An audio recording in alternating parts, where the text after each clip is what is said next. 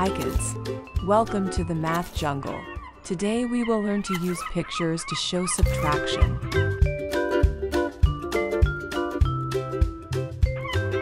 First, we will read a word problem. Then, we will use pictures to show taking from. There were five giraffes in the jungle.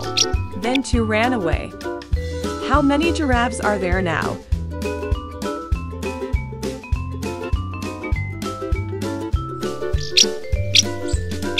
Let's break this problem into steps. The story problem said that there were five giraffes in the jungle.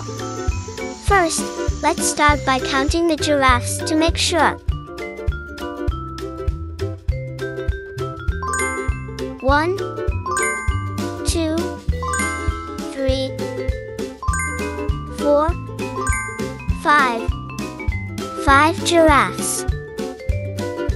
There were five giraffes in the jungle. Then two ran away. I'll go ahead and cross out two giraffes to represent the two that ran away. The next part says, how many are there now? So, I need to find out how many giraffes are left in the jungle. I can find out by counting the remaining giraffes. One, two, three. There are three giraffes left in the jungle. Now let's turn that into a subtraction sentence. There were five giraffes in the jungle. I will use the number 5 to represent the five giraffes. Then two ran away. I will use the minus sign to represent the two giraffes that I crossed out. Do you know what 5 minus 2 equals 2? Yep, that's correct.